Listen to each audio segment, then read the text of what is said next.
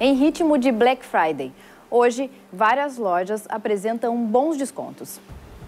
E são para os mais diversos produtos. Devido a isso, o movimento do comércio nesta sexta-feira está acima do normal. Os consumidores têm até a noite para aproveitar essas promoções.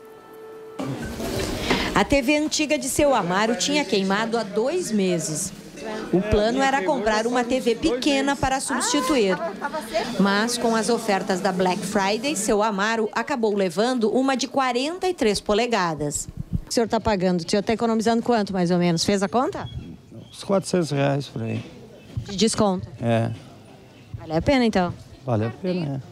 Os aparelhos de televisão foram o grande atrativo desta loja. Ah, tá bem em conta. Pesquisei, tá bem em conta. Tava procurando antes já? Já. Eu esperei a Black Friday para fazer a compra. Eu olhei pela internet e agora vim para fazer a comparação com, a com, as lojas físicas. E como é que tá? Não vi muita diferença não. A, a internet está mais barata, bem mais barata.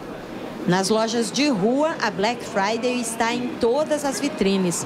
Tem até animador na calçada para atrair consumidores.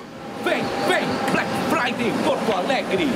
Já nessa outra loja, atrair consumidores não foi problema. O movimento está muito acima da média. Bastante coisa, muito desconto, que no dia a dia não dá para comprar metade.